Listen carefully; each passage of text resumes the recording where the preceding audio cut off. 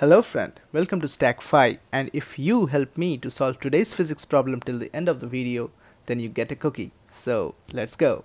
Hey what's up everyone, I hope all of you are doing great. This is Ramiz Zaman and today I have a question from the topic error analysis. But before that I need to make one confession. It's that my favorite actor is Salman Khan. Ud ud dabang dabang dabang dabang.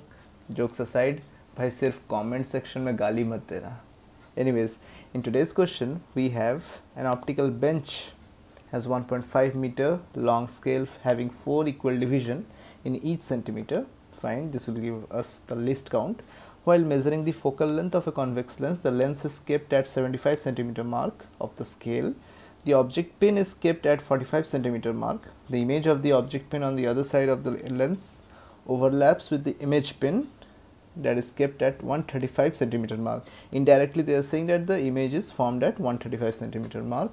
In this experiment the percentage error in the measurement of the focal length of the lens. Pretty easy.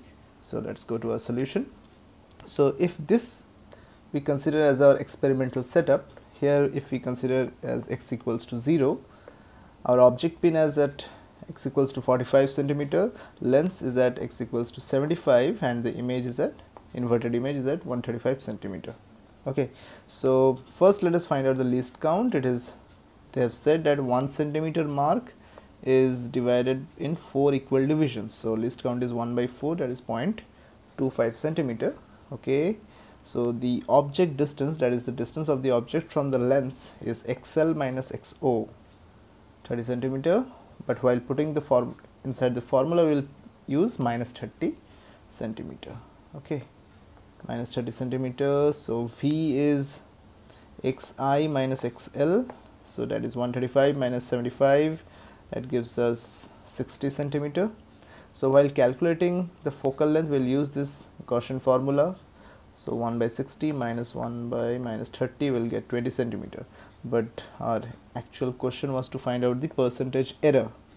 Percentage error. So this is our principal formula so finding out the principal uh, sorry the error we need to just differentiate both side. So we get df by f square dv by v square minus will will get converted into plus. Because while finding the relative error we won't put any negative sign there.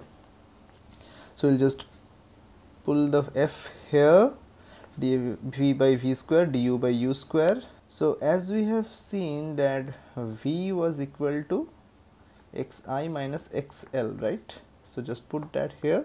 And u was xl minus xo so while finding out the values of u and v we need to take two readings. Okay? In the case of v we need to check xi and xl so we will get two errors. Okay? As you as you can see here. Similarly while measuring u you need to take two readings of xl and xo again you will get two errors separate errors. And those errors will get added up just convert it this minus to plus.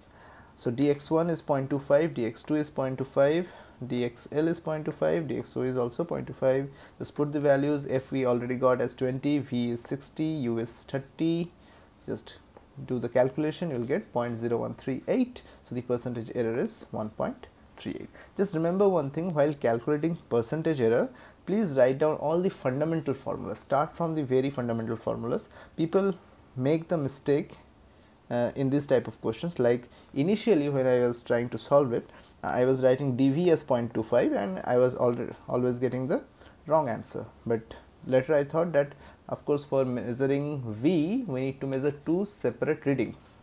We need to take two separate readings. There should be a double error that is 0.25 and 0.25 so things to remember just keep in mind while attempting the questions in your exams.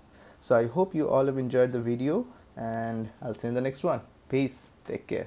As you have come to the end of the video you get a cookie. I'll see you in the next one. Peace. Take care